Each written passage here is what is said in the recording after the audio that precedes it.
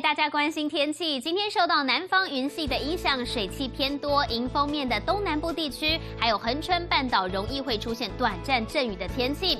午后呢，大气也很不稳定，西半部地区以及各地的山区都会有短暂雷阵雨出现，而且山区的瞬间雨势比较大，有机会出现短延时豪雨，伴随着雷击以及强阵风。因此提醒大家，下午外出要特别的留意。而在温度方面，各地低温大概二十六、二十七度。而白天的高温普遍可以来到三十二到三十四度，没有下雨的时候仍然感受闷热，户外活动要注意高温，多补充水分。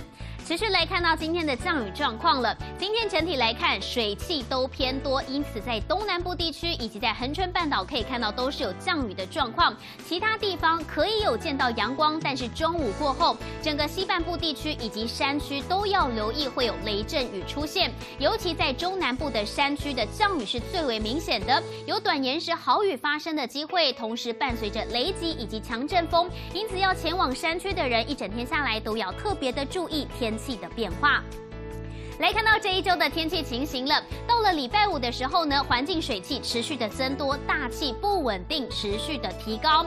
除了在西半部地区，还有在中南部的山区以及恒春半岛会下雨之外，在中北部地区也会有午后雷雨，并且会有短延时强降雨发生。不过因为整体的云量增多了，三十六度以上的高温出现的几率就稍微降低了。但是高温普遍还是可以来到三十二到三十四度，感受上还是相当的闷。热，礼拜六到下周三的时候呢，各地大多都是多云到晴。不过中午过后还是要注意，会有局部的短暂雷阵雨出现。在清晨到上午的期间，南部地区以及恒春半岛会有局部的短暂阵雨。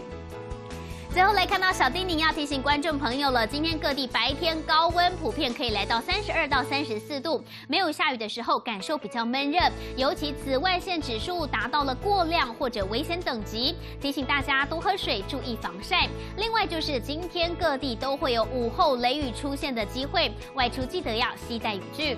接下来带您关心各地详细的温度预测。